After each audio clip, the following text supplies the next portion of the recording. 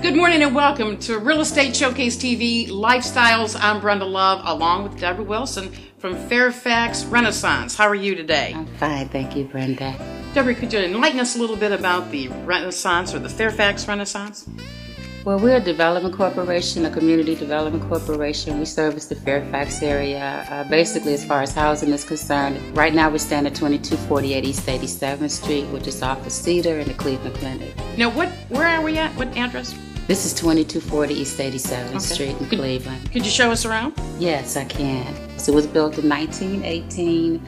It's one of the older houses in Fairfax. This house was a three family house that we turned back into a single family house. There's a lot of room here. What's the square footage? 1,950 square feet. There are four bedrooms, uh, two and a half baths. Everything is all new. Rebuilt all cabinets and everything anew, new new walls, floors, all of that. In the kitchen, we also added a breakfast nook Oh, just all new mechanicals, heating, electrical, plumbing. Now, the tax abatements, are there some on this house? Mm-hmm. They're okay. tax abatement, 10 year tax abatement for a rehab house.